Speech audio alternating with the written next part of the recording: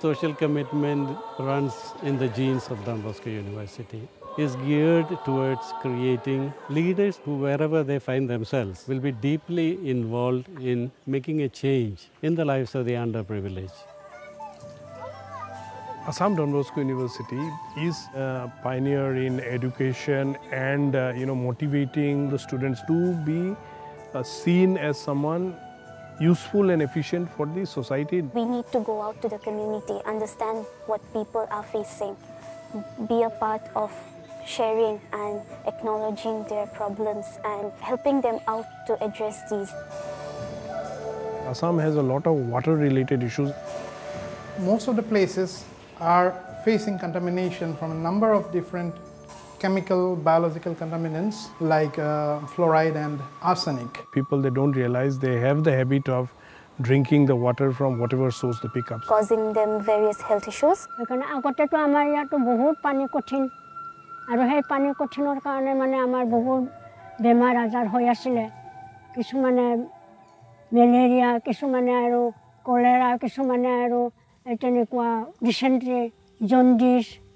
এইবিলাক বেমাৰ প্ৰায়ে মানে আমাৰ ইয়াত হৈ আছিলে Don Bosco University, they took an initiative testing the water samples. When we started the research on water purification here, we uh, realized that nanotechnology is possibly the best way to tackle this huge problem.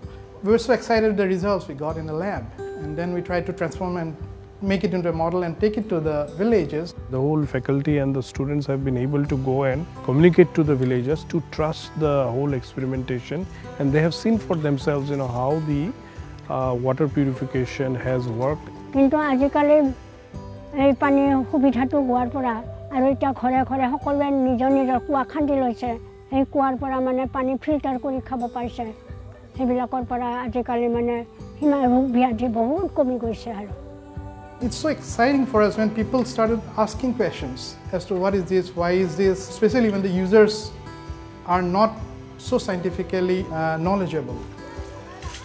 So there are basically two stages in the water filter. There's an upper tank which holds the absorption process. In this stage, the water gets filtered. So once the filtration process is complete, the water moves to the next chamber below, and here all types of microbes are removed. The water gets purified to 99.9% and then it gets stored below it.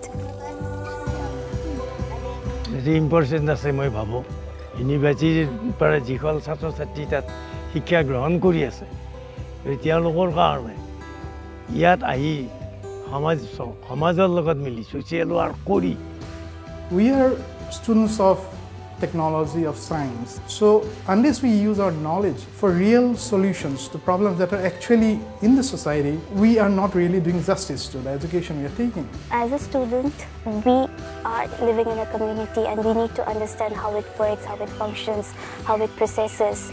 And I feel that community outreach programs should be introduced in all colleges and universities. the university and the local villagers have uh, done something so well so this could be something as an initiative that many other pockets uh, in the whole region can pick up it's a nice symbiotic uh, relationship uh, that has been generated The old concept of that we are masters of the universe is slowly giving way to a newer concept that we are stewards of the universe.